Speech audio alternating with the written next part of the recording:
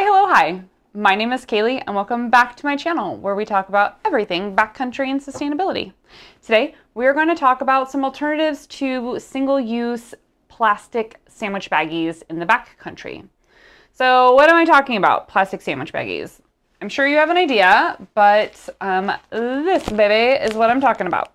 We all know them, we all use them, um, and they do have their place in the backcountry, especially in through hikes, right? So everybody's trying to cut as much weight as possible. We need to, you know, send and use a ton of baggies. So if this is where you're at because of weight or because of price point, I totally understand it. Something that you can do to help prolong the use of these is just instead of throwing them out when you're done, washing them and reusing them. It'll help you with the amount of plastic that you are contributing. Yeah, they will still shed be shedding microplastics, right? There's not any way around that. But if you utilize one bag for a month instead of using, I don't know, let's say 30 bags in a month, that footprint is going way down, which is awesome. There is also a compostable version of these. Um, they're like kind of like a light green color. It looks like what you'll use in your kitchen compost little bin. Um, those are available. I just don't have one with me today. So you can Google that and find some. Another option is this guy, which looks shockingly familiar, right? It looks just like the one we just had, except for this one actually came with the TV that I had like eight years ago. It came with cables inside of it. And I was like, hey, this is the perfect sandwich bag size.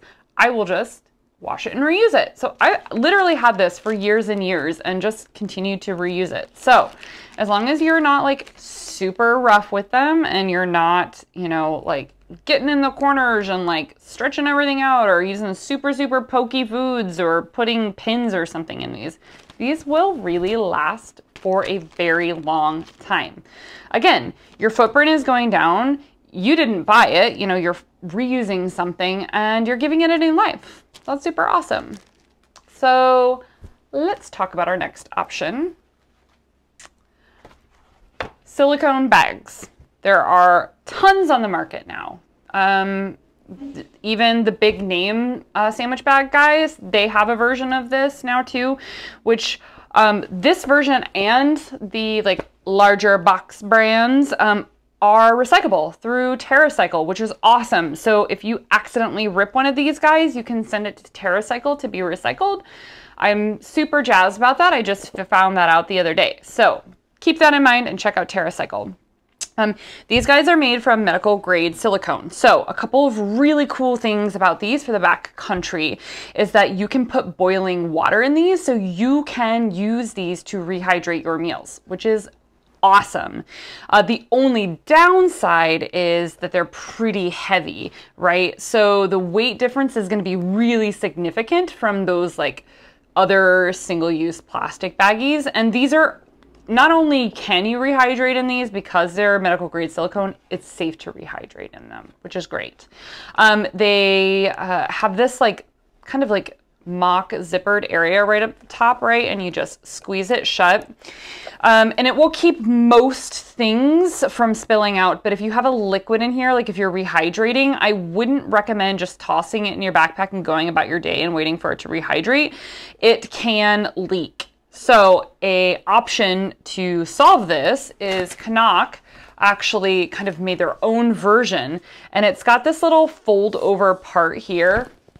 This is actually quite difficult to get open, which is good um, because it helps water not spill out. So that that like fit is quite tight. You just need to mess with it several times and then it'll start to kind of flow a little bit better, but it's super watertight. So same situation as that um, silicone one.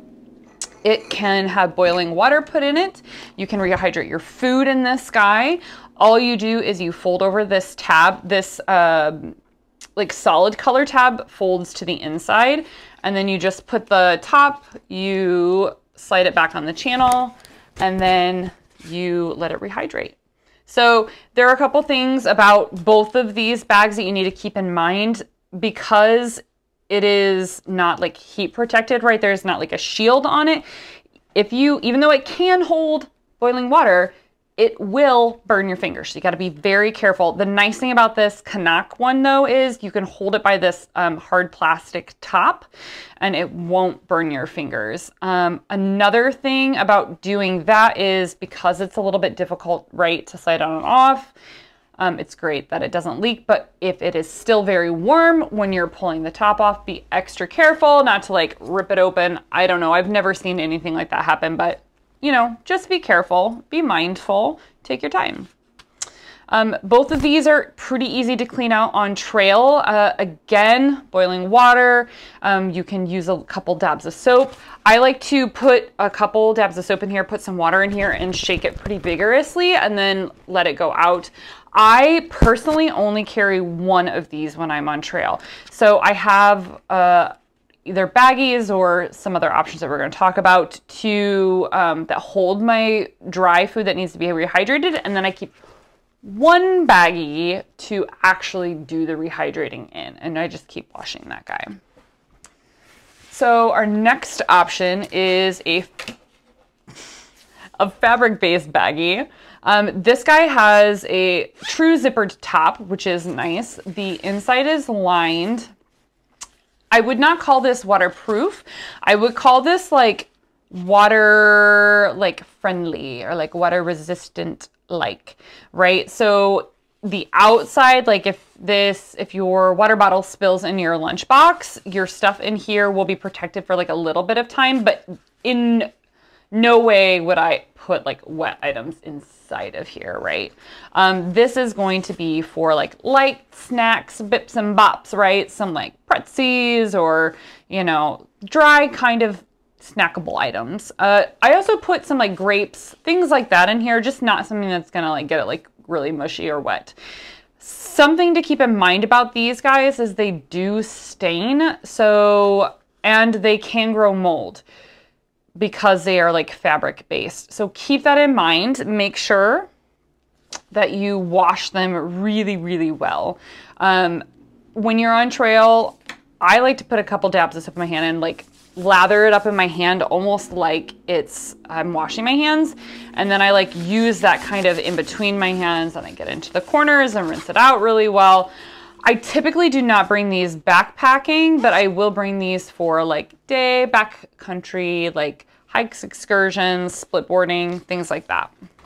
And the last option we're going to talk about is wraps. Now, again, just like those baggies, I would not personally use these for like through hiking or long backpacking trips, but these are really, really great for short hikes and like day backcountry flowways, right? So all of them are going to be very similar. This one is a plastic-based one. They also come in a vegetable-based uh, wax and beeswax. So you have a couple of different options.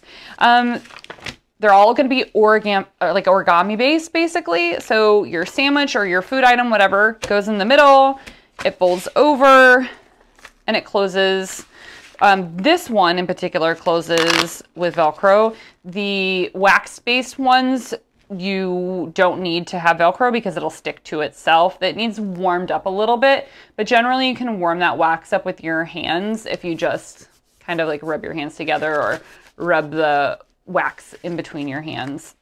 So that's a bunch of different options for you to use in the backcountry to avoid using single-use plastic baggies one time and pitching them. Uh, there are many other items that you can use, but these are the ones that I have used for several years and can personally recommend. If you have something that's a favorite for you, put it in the comments below. Thank you so much for stopping by. I'll see you on my next adventure.